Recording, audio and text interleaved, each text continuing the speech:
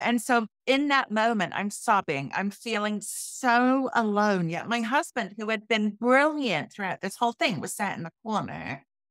Right. So I, I wasn't. And this is something I think that so many people don't understand that even if we have the most amazing support system, and you touched on it, it's this feeling of being isolated that nobody else gets.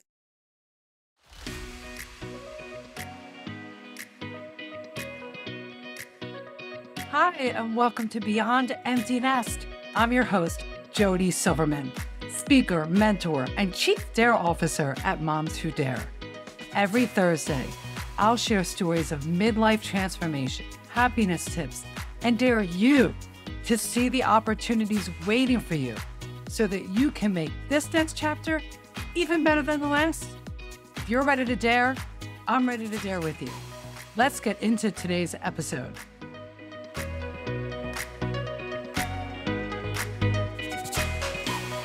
Rediscovering calm after breast cancer. Is that really possible?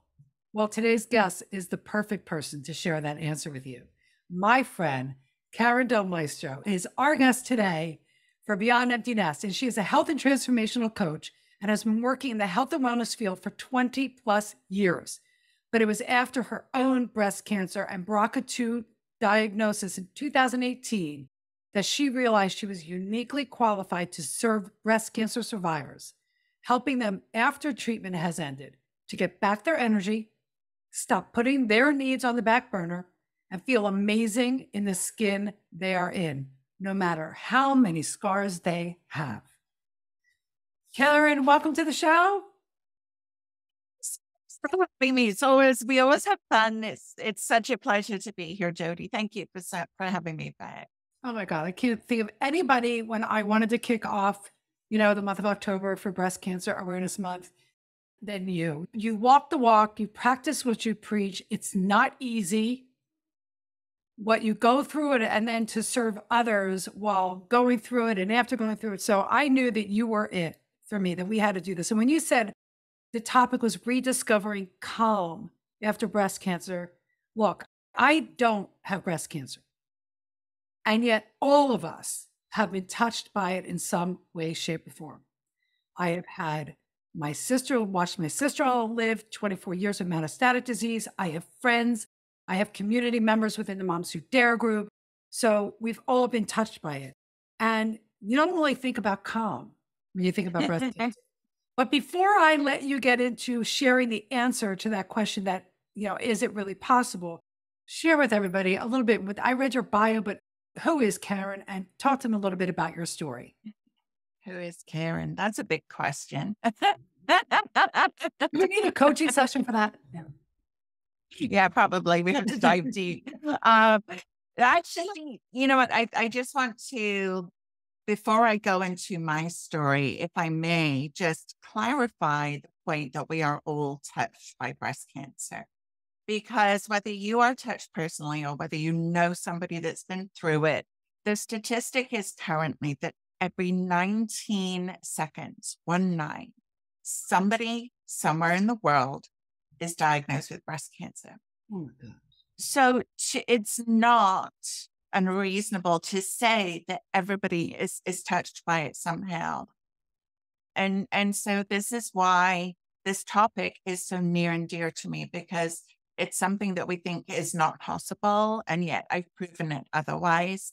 And so, yes, I'm on a mission to share. So, who am I? I will shorten this story. For those of you wondering what the accent is, let's just start there. I grew up in the UK and moved to the US when I was just 22 years old, newly married, had my children there. I was in New Jersey at the time. I've since moved uh, stayed in New Jersey for 30 years, and then in the past eight years, moved seven times, including to and from Caribbean. Lived down there for a couple of years. And it was actually shortly after coming back from the Caribbean that I was diagnosed with breast cancer. Before I touch on my breast cancer journey, I need to touch on what happened a year prior to that. Now, like most of us, my my journey through life has been a roller coaster ride, a bit bumpy, been through some pretty major things, including my mom, my dad, and my younger brother. But a year prior to being diagnosed with breast cancer, it was an exceptionally stressful time for me. And this is important because I have to say, 90% of the women that I speak with, and I do talk to predominantly women, I don't want to exclude the fact that there are men out there that have also been diagnosed with breast cancer. It's just that most of it's mostly women that reach out to me. But 90% of us have actually been touched and dealt with massive amounts of stress prior to our diagnosis. And in fact, it's part of something called the Cancer Personality Traits by Dr. W. Douglas Brodie, is that we go through an unusually stressful time between 24 and 48 months prior to diagnosis. That's that's that's a little crazy.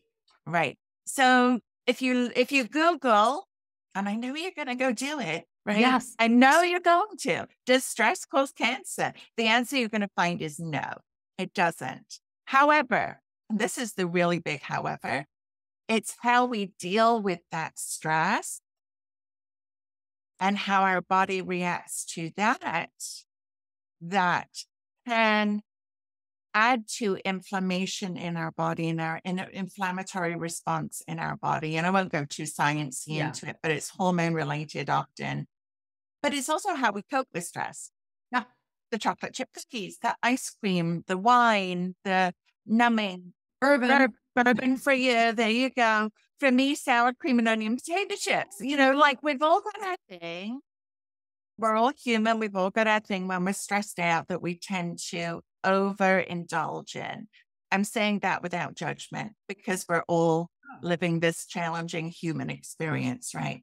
So, so one year prior to being diagnosed for me, this was kind of like the straw that broke the camel's back. And this is what this cancer personality trait um, study talks about that there is a big thing that breaks the camel's back.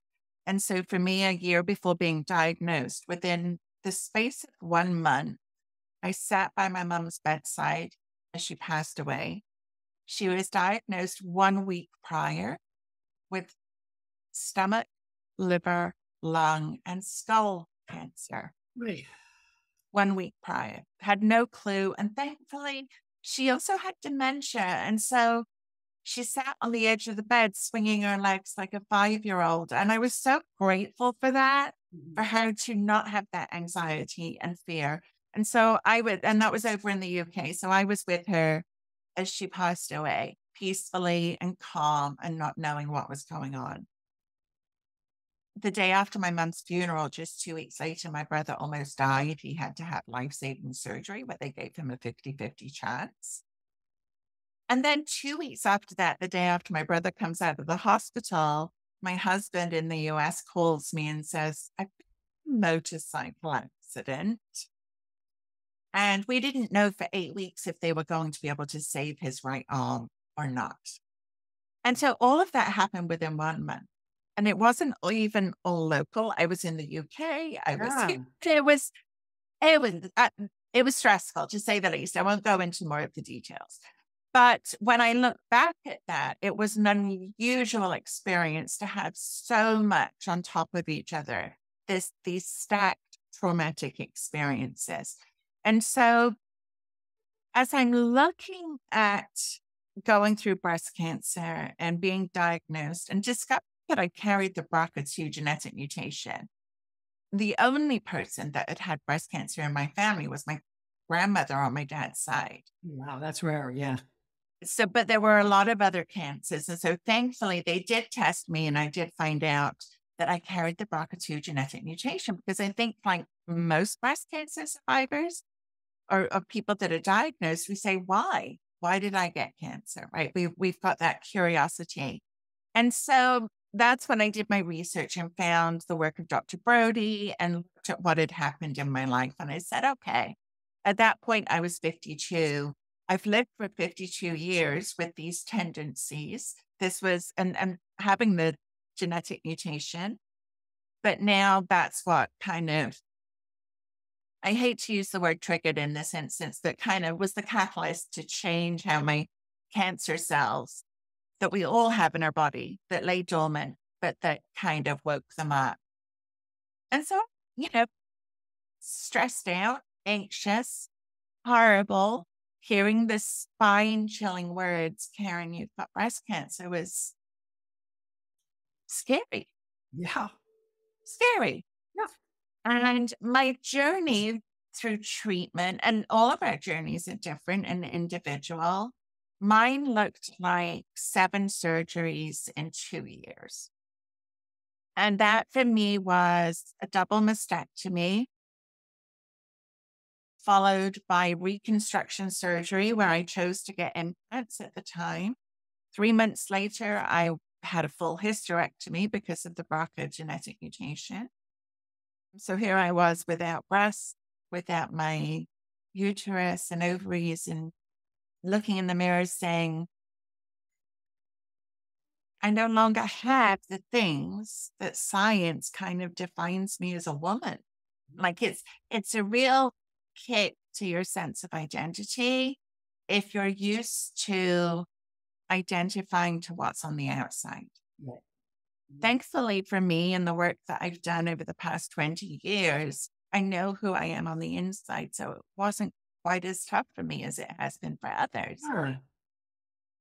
And so the, the last surgery for me, and I won't go into each one, but the last one for me was actually the decision to remove my breast implants.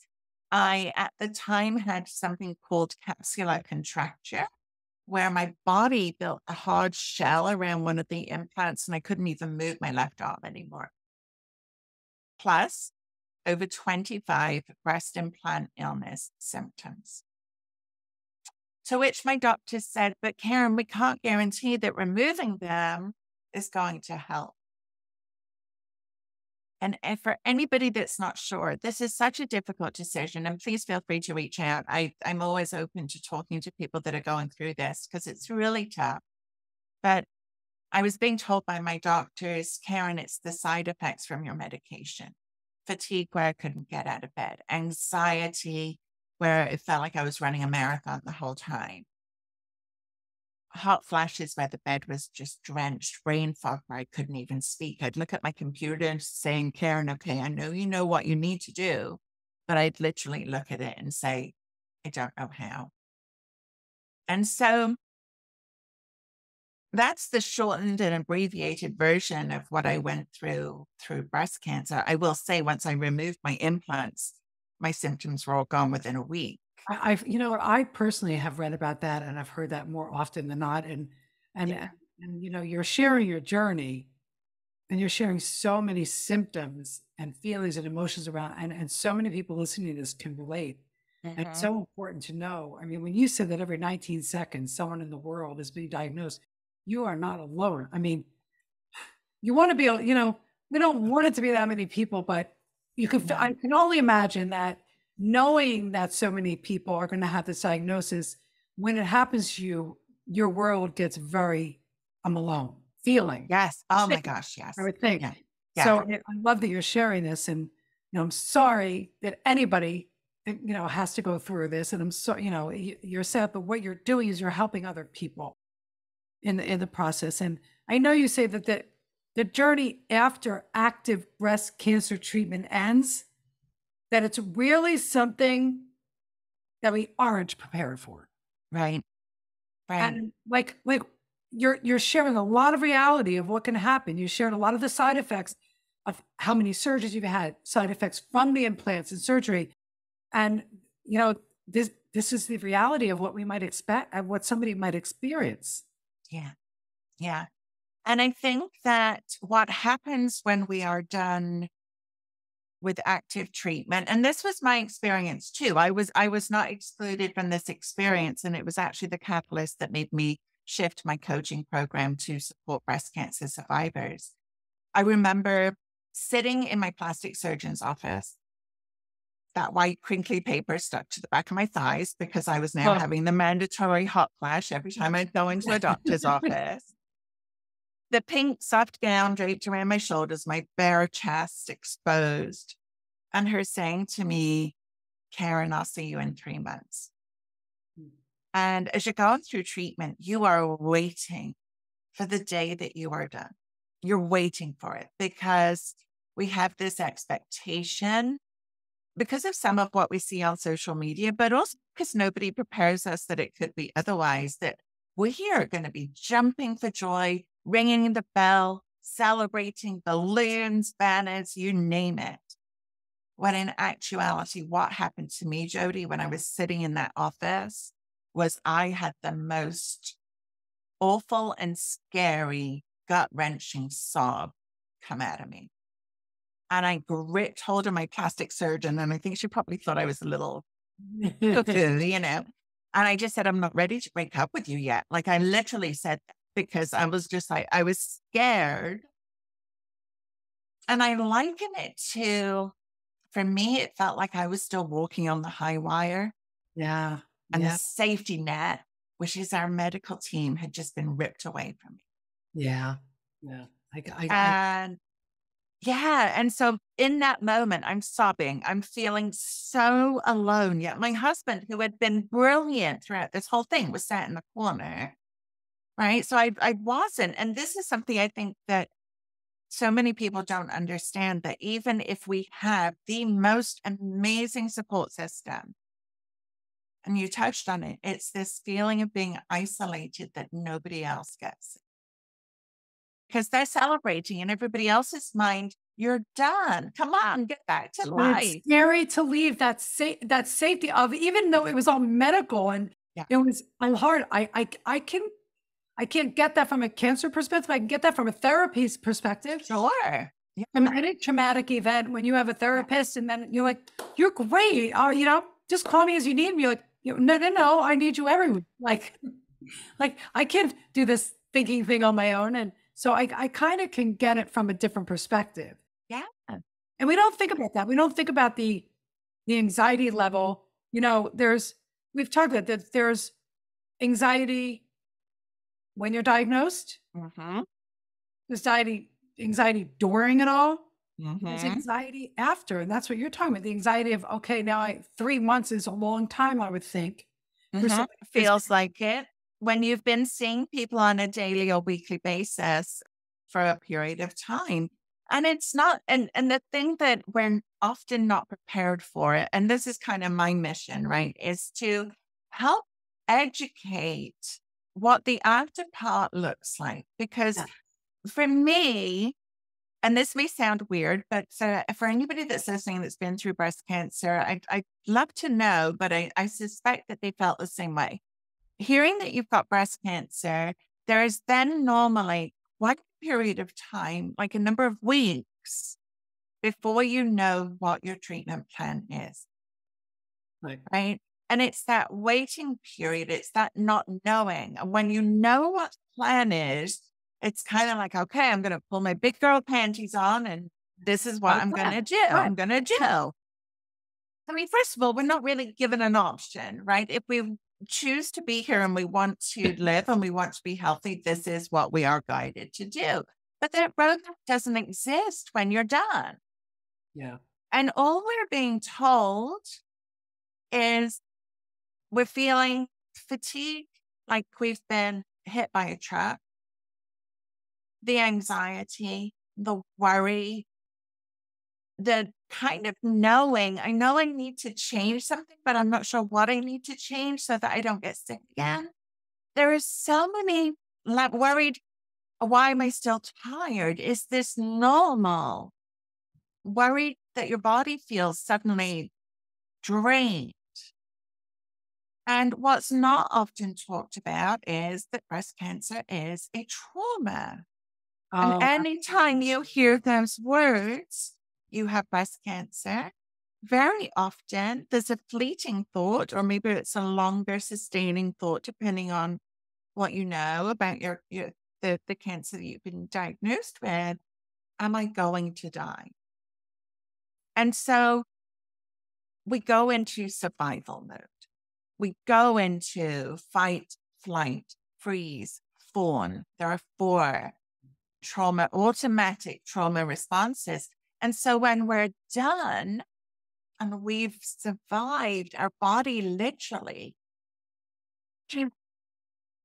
And and you know, I'm feeling this like, okay, so you've survived, you've gone through it all, you've done, done, done, do, do, do. And then you're like, okay, now what? And I can see like what you say, all your friends and family, this is great, this is great. Why what is wrong with you, Karin? Why aren't you calm? Why aren't you this has all been important, but the, the guts of this, going back to the beginning, rediscovering calm after breast after breast cancer, is it really possible? And it is. I know it, it is. is. You shared that it is. so, because for the person that's going through it, you know, there is no calm right away. And if you don't have the tools and strategies, and I know that that's your jam, and you do it so beautifully for women. And so as we're we're nearing the end of our episode here, can you share a few things that we can do to help bring ourselves to a more calm state, whether we've been through breast cancer or not? It will help you absolutely, regardless. This what are give us like two or three things that we can do to help bring ourselves to a more calm state. Absolutely. And yes, it is possible, 100%. I recently went through 13 biopsies and I stayed calm throughout. And so I know firsthand, and what I share is always often from my own knowledge. So, one of the things that I think is so important is staying calm and it, it's getting in touch with all of the spinning that's going on in your mind right? I, it's like we've got a snow globe up there and somebody's right. shaking it. And we've got all of these thoughts. And you, I know you talk about thoughts a lot and how many we have. And they're spinning, spinning, spinning. And so the idea of calm is thinking about getting those, those thoughts settled down. So number one, I invite you to think about can you control what's going on in your head? Now, this is strange, and this is what I say to my clients with my biopsies I couldn't control the outcome of those biopsies. Right. When we go in for our mammography, our MRI, scans, our tests, we can't control what the outcome is. Yet we worry about it. We're scared about it. We go to the what ifs and we take it to the worst place possible. And I always ask, are you trying to solve problems that you don't yet have? So that's a good way to stop the spinning is asking that question. Ask that question again. Are you trying to solve problems that you don't yet have? And when we are projecting, and this is for everybody, right? We all do this. But when you're projecting and going through all of the different scenarios and trying to figure out how to solve each one, mm-hmm. it, you are using so much. And by the way, so much energy too. Yeah. And our energy is so precious so doing that. So thinking about what you can control. Are you trying to solve problems that you don't yet have? Okay. And another one would be asking yourself, and I think this is so important who is minding your mind? Who's up here? I like to think of two personalities in our head, and I'm talking about our self talk, right? What is your self talk right now? Because one is going to make you more anxious and one is going to make you calmer. And I have these two avatars, for want of a better name. One is called Negative Nancy. She's the one that beats you up all the time. She's the mean girl. She's the one that tells you, What's wrong with you? Why aren't you there yet? Yeah. Yep. You're no good. You can't do this. She's that one. I don't like her very much. And so I try to and I, this has been a process, this is a practice. I tried to kind of push her to one side gently and say, Not today, Nancy.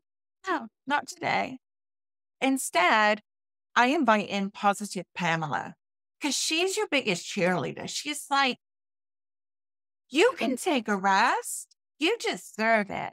And I don't want you feeling guilty about it either. Mm-hmm you know, and I'm not talking false positivity, but she's no. really the one that's on your side. She is your ally. She is your cheerleader. And many of my clients have actually said, Karin, we've got a third one. And I'm like, really? Who's your third one? And they're like, it's calming Karin. Oh, there you are.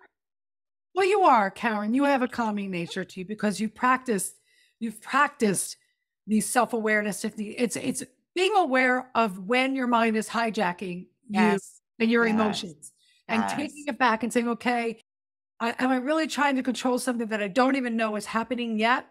Yeah. It's not easy. It's a practice. So listen to these two practices again Mhm. because you'll when you become aware of negative Nancy, you'll know negative Nancy's on her way to visit you before she even forms her her sentence. And then Yeah. you can put positive Patty, was it? Was it positive? positive Pamela. Positive Pamela. But yeah, the more you you pay attention, the quicker you can knock out negative Nancy. So those are two great practices. Thank you very much. Absolutely. It is our our minds hijack us and hijack our emotions and make us craze. But as your video talk show on YouTube is called, it- practicing these techniques will Mhm. take you from crazed to calm Yeah. over time. So we'll put a link to that below as well. Awesome. Two last things, really quick. You are giving, there's going to be a link to a download. Mhm. You're giving us what 50 encouraging phrases to calm an anxious mind. Yeah. And and I did this because so many of my clients were saying, Karin, I just need to hear you in my head because you calm me down. And they're even taking it. This is an audio download. It's in MP3 format. So you can actually download it onto your phone so it can be with you. You can fall asleep to it. You can go through an MRI. They can actually, for any of you going through testing, they can, they, they're often playing their own Right. music. But if you go in with an MP3, they can play it through their system also. And so listening to this as you're going through those things, they're they're phrases that are, you know, is it it's Calming. designed for breast cancer survivors, but they're relative for all of us. Yeah, All of I us. think. Yeah, absolutely. Okay. And you know, it, it's like having calming Karin in your head. So Oh, you want a calming Karin in your head. And- And finally, first of all, thank you. Thank you for being part of Beyond Empty Nest and this very important month of mhm, October, where we're doing everything we can to bring awareness to breast cancer, support those who have it, support those who support those who have it. mhm. And this is this is um, some great tips. Your story alone will make others feel less alone. And yet, you don't get out of the Beyond Empty Nest Zoom without a dare. Everything that you, what will you dare? There's so many dares I could pull from this conversation. I know. Aaron, one dare, a simple dare that you want everybody to do this week. I'm going to dare you to do a brain dump before you go to bed at night. And what does that mean? That means get out of your head all of the things that are spinning and put them onto paper. This has been proven to help you sleep better. Do it again at 3 a.m. after you've got up to go to the bathroom and you're trying to get back to it. sleep. Yeah. And your head's going again, right? Do your brain dump again. It really works. And it's a great way to calm an anxious mind. Love it. You're doing a brain dump. Doing a brain dump. All right. Karin, again, thank you. And and everybody listening, share this episode with somebody you love, somebody you know who deserves to go from crazed to calm. Anybody you know that needs a little more calm in his or her life, share this episode. Let us know. Leave a review. Tell Karin what was the one thing she said that made you feel less crazed and more calm. We want to hear from you because the more you review, the more you share, the more women we reach. And that's our goal. So leave a review, like it, let me know, let Karin know what you like, what your takeaway was. Don't forget, next week we'll be back again with another episode of Beyond Empty Nest. And as I always say, stay with me, Karin. Dare Dare on. on. Thank you for listening to this episode of Beyond Empty Nest. Head over to jodisilverman.com for full show notes, more information, and additional resources. Speaking of additional resources, I've got a great one for you in the show notes below. So if you've enjoyed today's show and are ready to embrace this midlife chapter, then you're going to want to grab our featured resource called the Self Talk Cleanup Challenge. May not think so, but to quote our friend Oprah, the one thing I know for sure is that negative self talk and thoughts are what's keeping you stuck in fear and lacking confidence to take the leaps in midlife that you desire to take. When you grab this resource, you'll receive the exact exercise my first coach took me through. It's simple yet powerful. In addition, I'll send you a few other tools and tricks to help you knock out the negativity when it shows up, thereby increasing your confidence and your overall happiness, allowing you to have fulfillment and fun in midlife. You deserve it. So go ahead and grab your copy of the Self Talk Cleanup Challenge, and I'll see you next Thursday. Until then, they're on.